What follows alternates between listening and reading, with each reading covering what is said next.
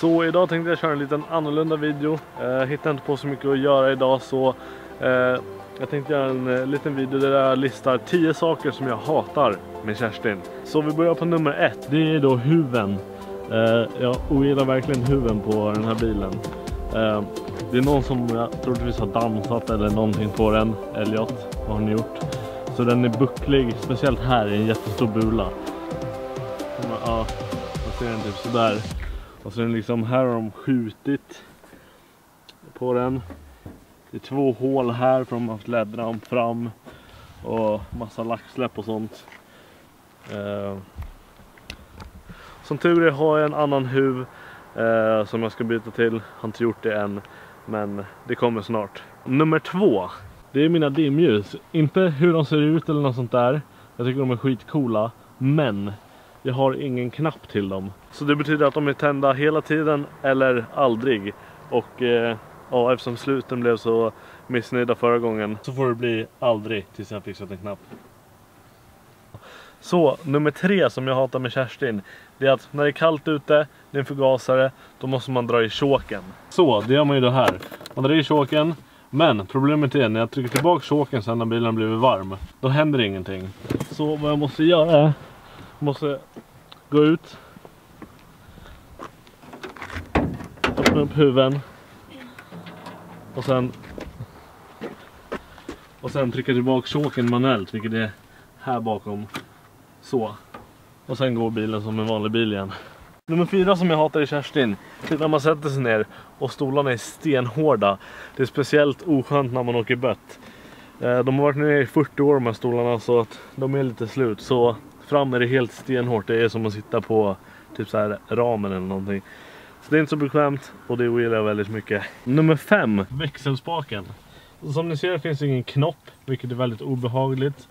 Eh, den har ingen backspärr heller så jag har de här buntbanden som man måste dra upp samtidigt som man använder den andra handen för att lägga i backen.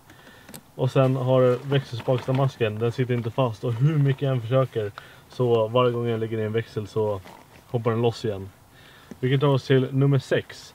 Eftersom det låter så mycket här underifrån och jag har ett eh, avgasläckage typ här någonstans så låter det extremt mycket inne i bilen.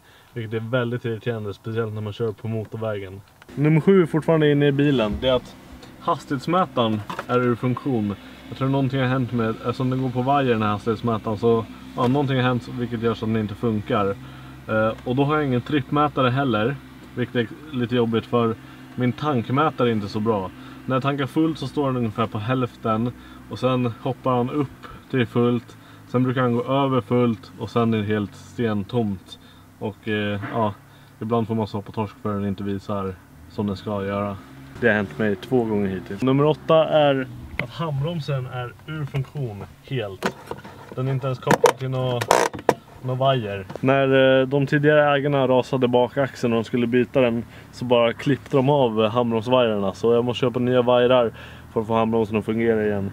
Ehm, men tills dess får jag parkera med en växel i. Nummer nio är någonting som jag, ja det är mitt eget fel att det är, men jag tycker det är sjukt snyggt och coolt med låga bilar.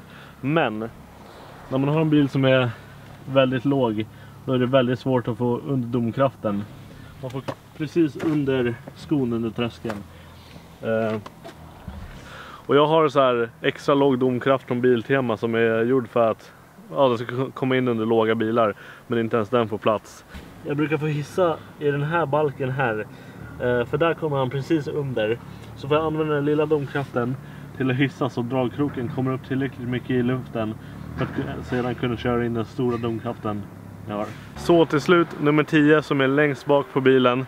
Det är remote-kabeln till slutsteget. Som ni ser har jag en blå kabel här som går mellan mellan plussen och remoten. Det är för att när det hoppar ganska mycket då gick remote-kabeln som jag har från styron av. Och eh, ja, jag behövde lösa det snabbt. Så varje gång nu när jag parkerar bilen så måste jag hitta en insektsnyckel, springa bak, öppna skuffen, skruva loss remoten, rycka ur den så att inte slutsteget ligger och drar massa ström. Och sen igen när jag ska åka iväg så måste jag göra exakt samma fast sätta tillbaks den, skruva, stänga och lyssna på lite bas. Så det var min lista av 10 saker som jag hatar eller gillar mindre eller stör mig på på min bil Kerstin. Eh, jag hoppas ni har tyckt den här videon var rolig, lite annorlunda. Skriv gärna vad ni tyckte och eh, gilla videon. Glöm inte att gilla videon, kommentera och prenumerera om ni är nya så ses vi igen i nästa video. Hej då! Det gör man ju då här. Så man...